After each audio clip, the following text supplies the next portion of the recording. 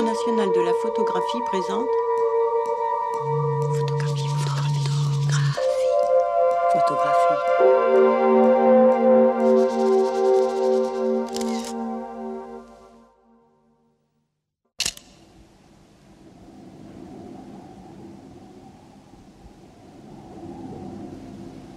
Cette image, je la connais. Elle fait partie des archives de l'armée dont le photographe a gardé les négatifs pendant 20 ans dans un tiroir. C'était la guerre d'Algérie et il faisait son service militaire. Cette femme était obligée, elle, de poser pour lui, comme tous les gens du village à qui on faisait des photographies pour la carte d'identité obligatoire. Donc lui, il était en service commandé, et elle, elle a même été obligée de retirer son voile, d'enlever son voile. Cette double contrainte, cette violence faite à chacun, elle se voit. Elle se voit surtout par l'incroyable force avec laquelle cette femme refuse. Et si le désordre de ses cheveux donne l'impression d'un, d'une douleur, d'un émoi, d'un trouble, la rigidité de son visage avec ce pli amer de la bouche et l'incroyable violence de son regard, tout cela dit non. On peut commander cette femme, on ne peut pas la soumettre. Je suis très frappée par le visage de cette femme. Et par le travail du photographe qui, en faisant son, son sale travail de militaire, est allé quand même au plus loin de la compréhension qu'il avait de ce qui se passait.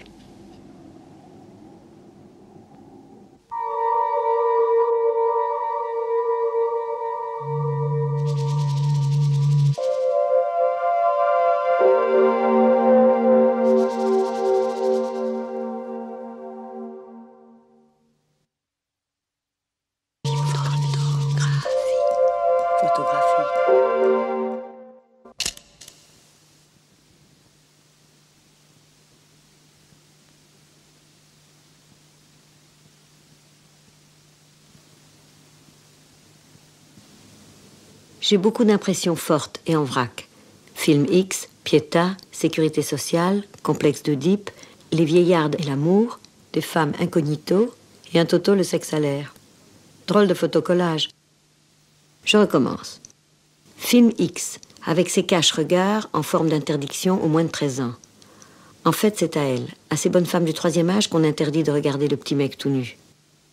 Sécurité sociale. Elles attendent leur remboursement. Des braves femmes à souliers plats, veuves pour la plupart et longues à mourir. Elles s'accrochent à ce qu'il leur reste, un fils ou un petit-fils. Elles le tiennent. Et lui, de qui tient-il ses yeux rieurs et ses longs pieds? Pietà, la Pietà d'Avignon avec le bras du fils qui pend comme ça, bien raide. La Sainte Mère s'est multipliée par quatre, et Christ est redevenu petit Jésus qui ne veut pas dormir. Dodo, petit Jésus, ferme les yeux, sinon on te mettra à toi aussi sur les yeux une étiquette noire en sparadrap. Et puis un cache-sexe avec deux sparadraps croisés pour faire ta croix, en plein milieu de l'image, là où est la croix des viseurs sur les appareils de photographie, et le rond pour faire le point.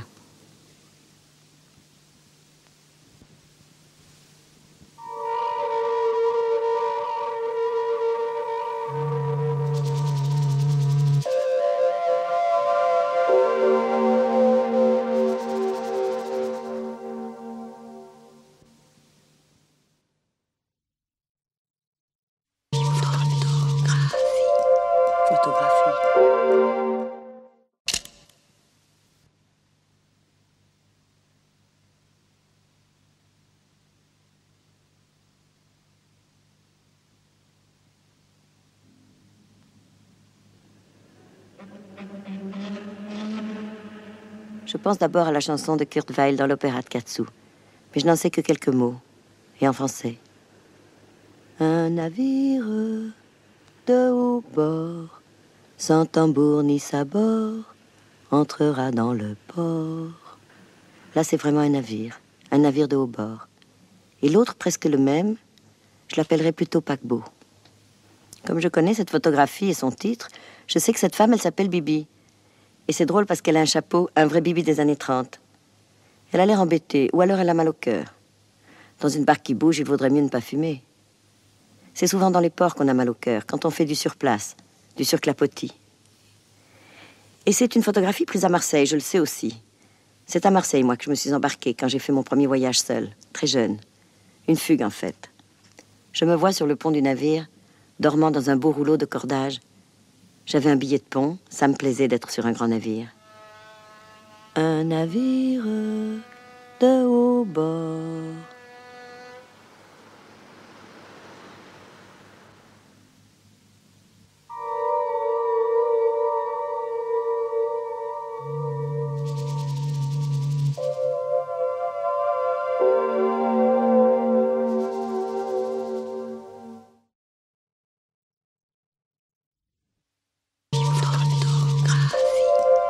Des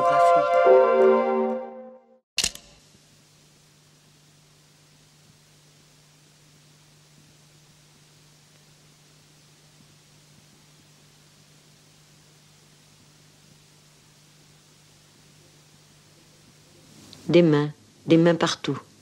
Six mains, si on compte. Mais une seule, celle du milieu de l'image, est nue et ouverte.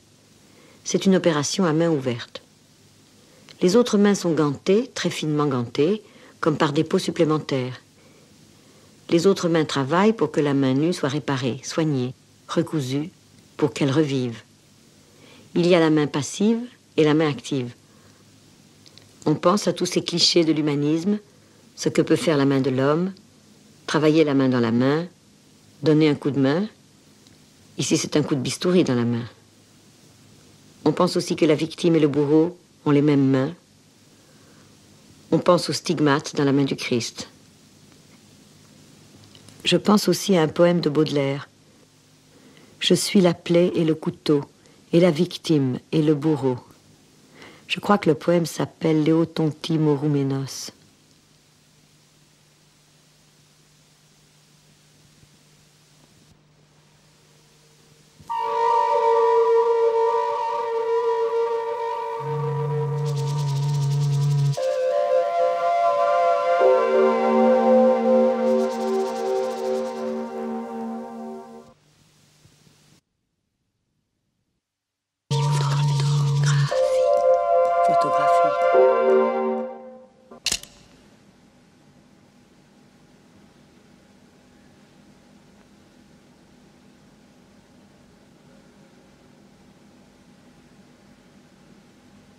Moi, j'aime que cette image me rappelle les peintures de l'école hollandaise, leurs maisons, leurs portes, leurs perspectives, et la lumière qui décrit jusqu'au rapport des gens qui l'habitent.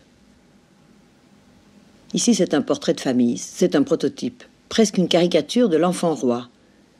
C'est lui qu'on photographie, c'est lui le sujet, lui et son père. Du coup, la mère est à moitié cachée parmi les feuilles, et la grand-mère est bien loin au fond. Enfin, je suppose que c'est la grand-mère, cette dame à cheveux blancs auréolée de lumière. En tout cas, tous regardent cet enfant, ce môme avec sa culotte molle, qui est l'orgueil et l'avenir de cette famille. Pour moi, le sujet de cette image, c'est aussi la maison, avec cette zone d'ombre que l'on voit entre les deux portes, et l'épaisseur des coins sans lumière. Finalement, les maisons racontent bien les familles, et les familles racontent ce qu'elles veulent, et les photographies racontent un peu de ce mystère, de ce que personne ne veut raconter.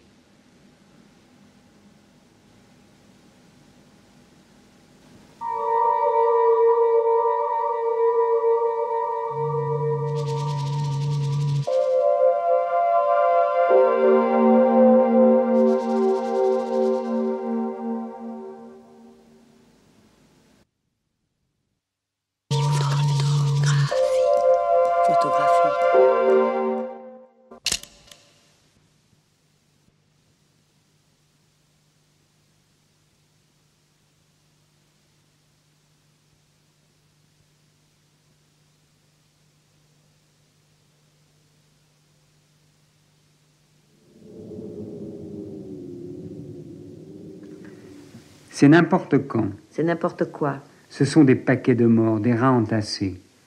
On a presque l'impression que ça va recommencer à grouiller. On leur a dit grouillez les gars, la victoire en chantant, c'est pour la paix. Ils l'ont la paix avec la fraternité obligatoire. Tiens, en haut à gauche, il y a un vivant. On voit deux pieds qui marchent, deux bouts de pantalon. Il s'enfuit, il a raison, c'est dégueulasse. Mais moi, ce sont des images comme celle-là que je regarde, pour ne pas oublier où je suis, pour ne pas oublier qui je suis. Et puis on se pose une question, parce que c'est une image, un bout de papier plat comme une belle gravure avec des noirs, des blancs et des gris délicats. Alors, Qu'est-ce que la beauté Qu'est-ce que l'art? Quand on sait que l'on regarde ici un charnier. N'importe lequel de ces corps était une personne qui avait un regard et des opinions et qui disait, comme nous, selon les cas, c'est beau, c'est moche.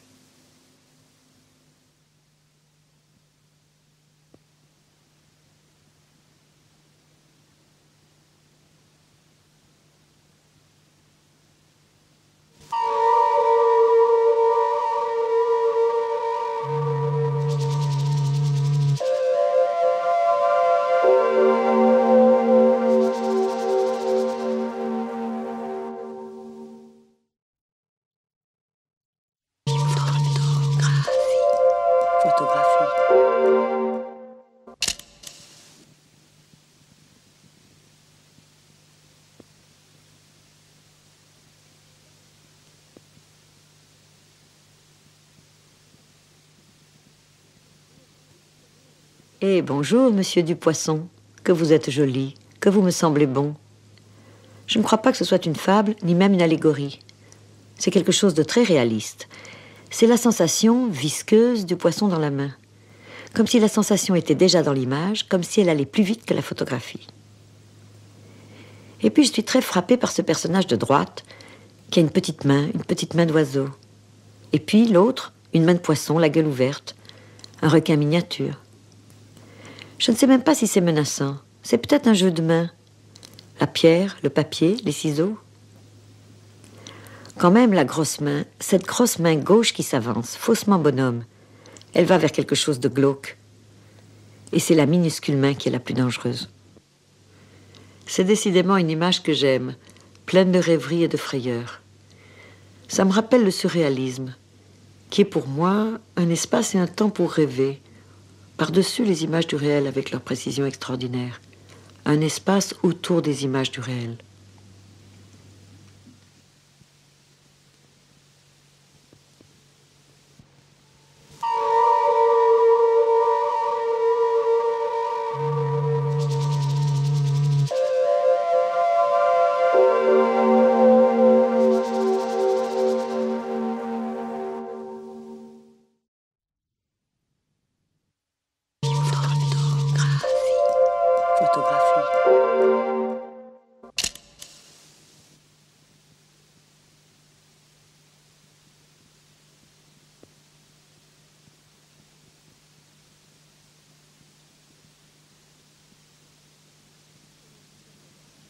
C'est comme un frisson d'amour. Ici, deux êtres se touchent, s'enlacent, et leur étreinte fait trembler l'air, fait tomber les feuilles, fait s'envoler les oiseaux. Ici, en une minute, c'est un 5 à 7. On sent passer les quatre saisons et les trois âges de la vie, et les 32 positions et les 36 chandelles. Cette image, c'est en même temps la tranquillité d'un canapé confortable avec des coussins et l'instabilité du transport amoureux, avec ce bouger flou qui dessine une chevelure flamboyante à l'un des deux amants. Ce couple est ambigu, on ne voit ni sein ni sexe.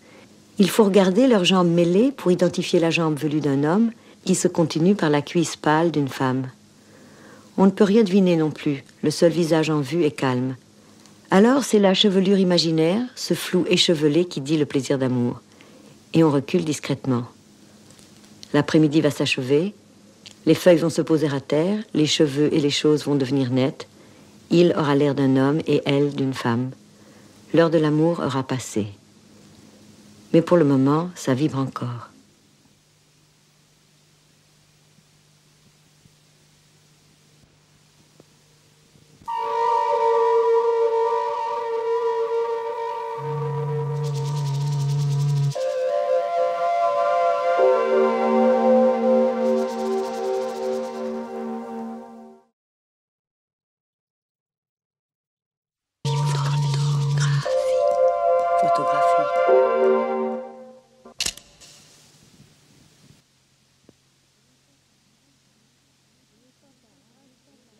On n'est pas par âge, on est par taille.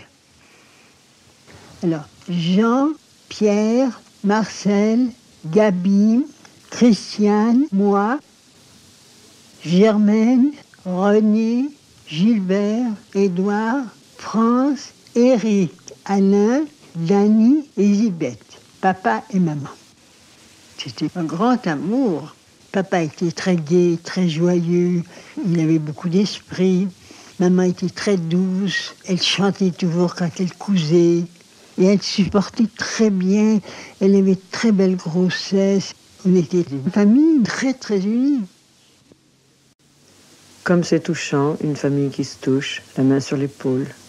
Et comme c'est touchant, trois sœurs de la même taille, et troublant quand celle du milieu, c'est ma mère, et qu'elle ne me regarde pas. Ils ont tous regardé l'appareil, tous, sauf deux femmes, la mère et ma mère. Toutes les deux, elles regardent dans la même direction. Je ne sais pas ce qu'il y a là où elles regardent, mais s'il y a une hérédité qui se transmet par les femmes, je devrais aller là, voir ce qu'il y a là.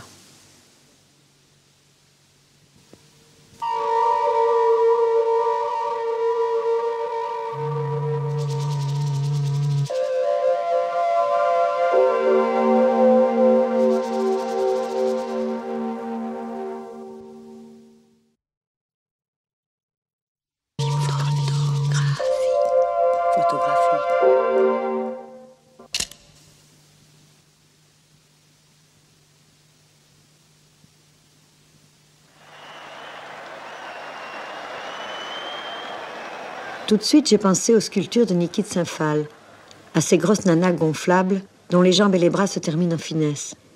Oui, mais il manque les couleurs de Niki et sa bonne humeur. Ici, l'image a quelque chose de dramatique. L'homme fait un geste théâtral comme pour conjurer le destin, et puis le sol a l'air en flammes comme si la scène se passait près d'un volcan. Alors qu'il s'agit sûrement d'un match, de lutte ou de catch, et les gens qui brûlent en enfer sont tout simplement des spectateurs. Et les lutteurs sont des lutteuses. Les nanas sont des nanas finalement. Des costaudes, des championnes. Des lutteuses dans la boue. C'est un sport qui a beaucoup de succès aux États-Unis. On peut se poser des questions sur les raisons de ce succès. Un peu le sport, un peu les femmes, un peu la boue. Les raisons sont mélangées, un peu douteuses, un peu boueuses. Bon, en tout cas, je n'y vais pas, je n'irai pas. Mais cette image a de l'allure. Ces femmes grosses comme des bouées, ces femmes bouées sont rassurantes. Même celle qui a l'air de crier comme une noyée la tête en bas. L'autre la ceinture, mais c'est pour la sauver. Ses bras, ses mains sont comme une tresse d'algues. Finalement, c'est une bonne grosse forme mouillée et double.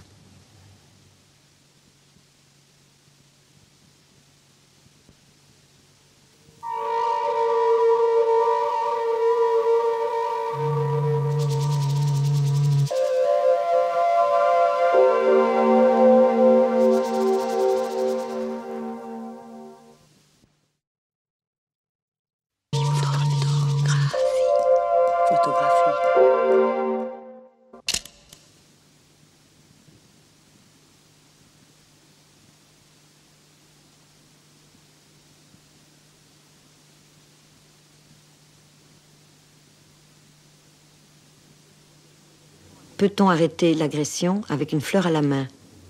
C'est la question de cette image. C'est une image du romantisme utopique des années 60. Le temps des Flower Children, les enfants fleurs, loin du Vietnam, Peace and Love, US Go Home.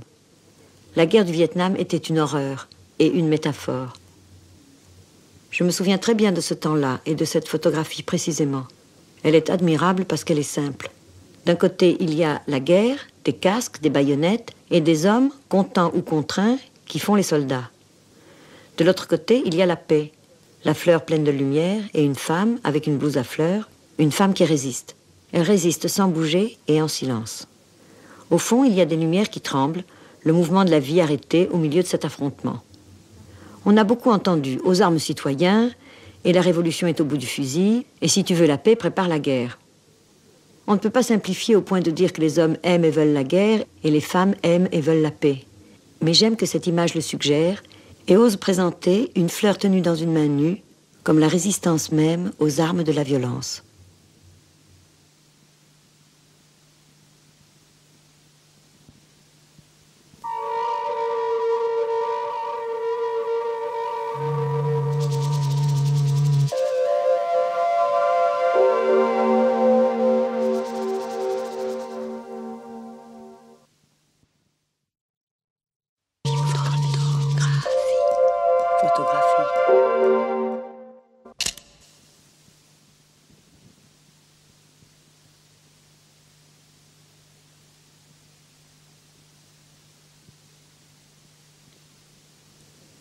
J'essaye de regarder cette image comme si je ne l'avais jamais vue.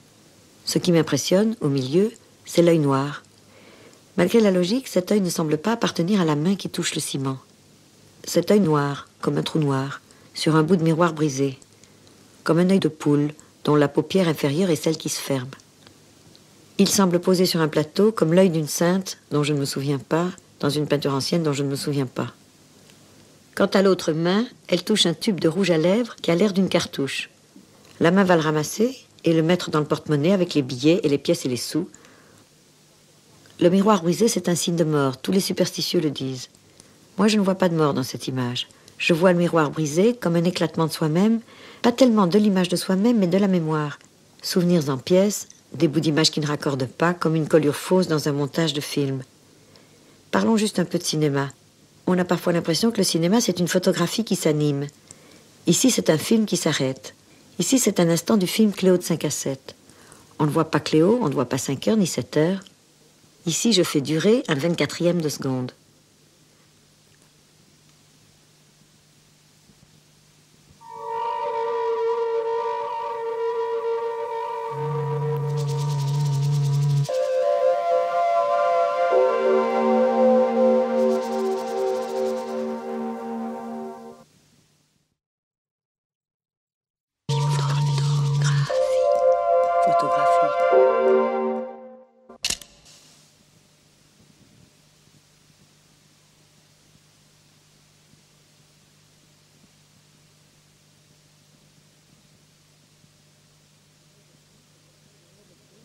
Les murs de Chine, comme l'encre de Chine, sont célèbres.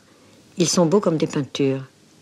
C'est aussi pour cela que les peintures de Zhao Wuki sont belles comme des murs. Ici, ce mur est le sujet de la photographie, mais aussi la toile de fond d'une scène curieuse et joyeuse. À droite, il y a trois enfants, ronds comme des pommes, et qui s'amusent. L'un d'eux entoure la tête de son copain, qui pose sa main comme pour l'empêcher de l'étrangler. Mais c'est un jeu. C'est cette tendresse brutale des petits garçons entre eux qui s'exprime partout dans le monde de la même façon, par ces fameux jeux de main qui ne sont pas des jeux de vilains. Au-delà de ce grand mur, gris-vert, qui met en valeur tous les bleus subtils et les bleus verts des costumes, il y a le quatrième mousquetaire qui arrive. Quelle allure Le vent ou son épée ont soulevé un pan de son manteau. Il avance la main en avant, mais sa main a une drôle de forme, comme un gros peigne à l'envers, comme une scie à bois ou comme une scie musicale. Son autre main, c'est un rond vert, une boîte, un ballon, un gros petit pois. Tout est tranquillement surprenant dans cette image, où l'espace du mur est comme un ciel d'autrefois, un paysage avec figure.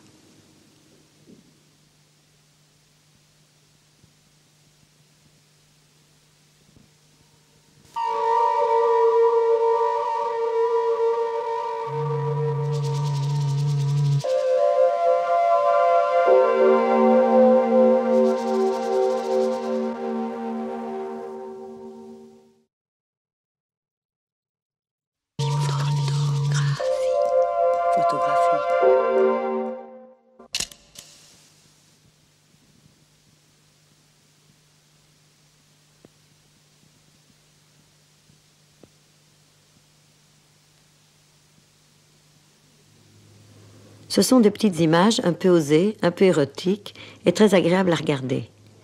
Les corps sont des couleurs, les membres sont des formes, les gestes des mouvements. Les visages sont cachés et les regards aussi. C'est une histoire de corps. Corps mouvant, corps émouvant. Et puis, on voit le miroir complice et on voit aussi l'appareil automatique qui crache l'image aussitôt qu'elle est prise, le fameux petit polaroïde. On a envie de dire polar, comme un livre policier, un film policier. Ces épreuves sont des preuves, des indices, des empreintes. Prendre une photo de soi-même en flagrant délit, dans un miroir ou à bout de bras, avoue le désir de prendre. Et une minute après, on voit l'image. C'est ça, une minute de patience pour une image. Et elle est unique, et elle est privée. Plus besoin d'aller la faire développer chez le photographe ou au labo, on évite les ricanements des autres, les gloussements, les clins d'œil salaces, les réflexions grivoises. Ici, on reste entre soi, à un, à deux ou à trois. Ici, on se rince l'œil, c'est très clair, comme au premier jour. Ici, c'est l'innocence de l'érotisme, le paradis du petit voyeurisme. L'enfer, c'est les autres, les autres et leurs commentaires.